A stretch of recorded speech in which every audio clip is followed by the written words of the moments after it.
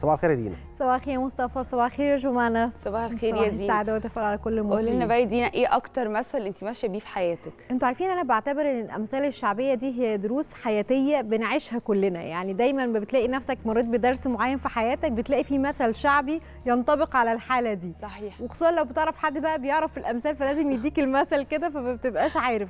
بس أنا عندي أمثال كتيرة طبعا بس اللي أنا أقدر أتذكرها دلوقتي منها اللي يحب ربه يحبب فيه خلقه لأن دايما قوي لما بنلاقي حد كده الناس بتحبه كتير بنقول إن ربنا بيحبه ودي طبعا مأخوذة عن آه، حديث شريف للنبي صلى الله عليه وسلم.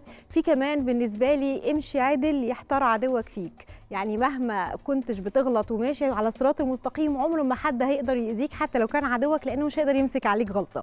آخر حاجة بقى وبحاول أعملها طول عمري وما بعرفش أعملها داري على شمعتك تقيد يعني وحتى لو حاولت اداري ما أعرفش بتتعرف إزاي بس يعني دي اعتقد ان إحنا دي ازمة حياتية لينا كلنا ان إحنا بنحاول نداري وحتى لو دارينا حاجة برضو ساعات ما بتكملش بس كله بأمر الله.